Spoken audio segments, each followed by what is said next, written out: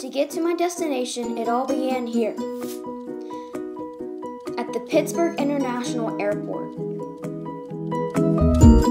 To begin my trip, I landed in a suburban area known as Cape Town, South Africa, along with a group of people. While I was in South Africa, I visited Castle of Good Hope and went to the Table Mountain. While I was there, I decided to visit the Castle of Good Hope, which was in Cape Town with my group, which was built between 1666 and 1679 by the Dutch East India Company. I wanted to go close to a beach and get away from the weather I'm used to in Pennsylvania, so I went to Camps Bay in the suburb of Cape Town, South Africa, and was established in 1713 with my travel group where I learned to surf. Since there wasn't too much time left in the day, I wanted to go to another attraction, so I went to Table Mountain in South Africa, which by surprise is a flat top mountain, and took an amazing aerial cable along with my exploring group. I left my group and went to Madagascar and visited Zahima National Park, which was established in 1997 and has 112 bird species, 46 reptile species, and 62 species of amphibians, and 48 species of mammals, and 13 species of lemurs.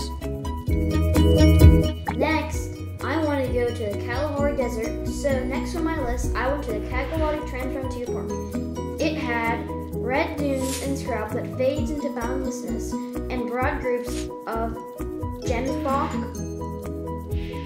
springbok, eland, and wild beasts which come and go during the seasons. Since I've always wanted to go on an old-fashioned safari, I couldn't miss my chance. So on the next day, I headed north to Kahubi National Park in Botswana, which is the third largest park of the country after the Central Kalahari Game Reserve and the Gemsbok National Park. It is also the country's first national park. While I was there, I saw nests, which are also called wild beasts, which are known to be alive about 1 million years ago, suggested by fossil records. I also saw zebras, which after looking at and researching, no zebra's coat is the same. There are also many elephants, and this park is surprisingly known for its spectacular population. There are other animals such as the hippo, which actually, from my seeing, eat a lot of herbs. Who would have guessed that since they are so large? Another animal species I saw were sable, which are shockingly hunted for their fur, which is weird because they are very small. Lastly, I saw hyenas. These animals are behaviorally and morphologically similar to canines. Next on my list was Victoria Falls, since of course I was close to Zimbabwe and I definitely couldn't have missed it for the world. The falls flow differently than most do because it flows upward instead of downward. While I was there, I wanted an elephant back safari and whitewater rafting.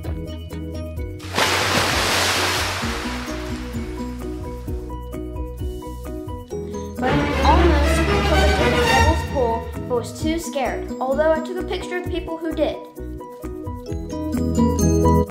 On my next adventure, I kept traveling north to see the stunning African rainforest ecosystem. In order to get there, I had to travel up the Zambezi River through Malawi, Tanzania, Burundi, and Rwanda until I finally got to Uganda to visit the Kibale Forest National Park.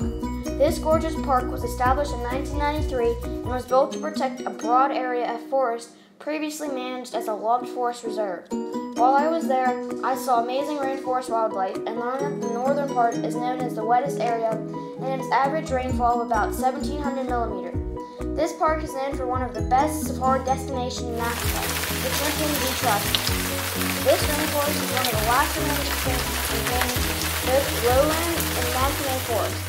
This forest to 325 species of birds, 4 wild felids, 13 species of primates, and at least 16 species of other mammals and over 250 tree species.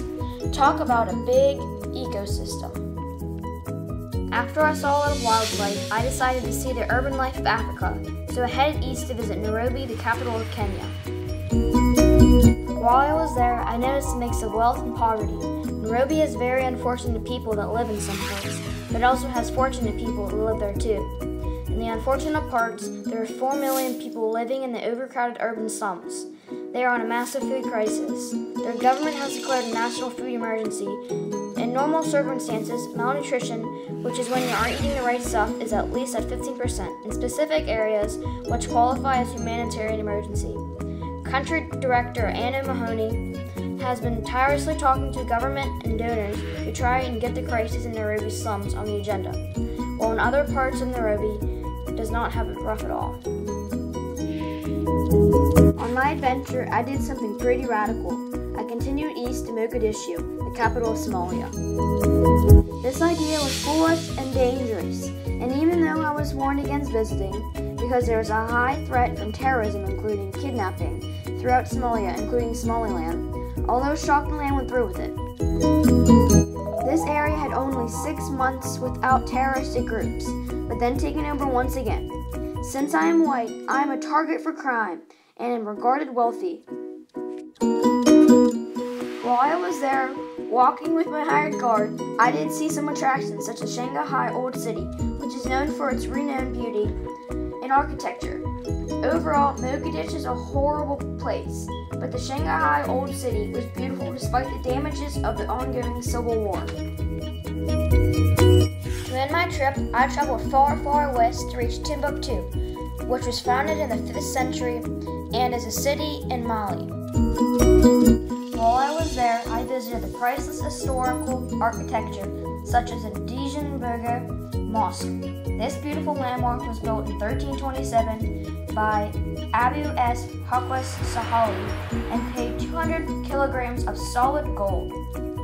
Dizengobe is one of three madrasas composing the University of Timbuktu. In 1990, this ancient mosque was considered to be in danger by the cause of sand encroachment. Unfortunately, all good things come to an end. My vacation sadly went too fast.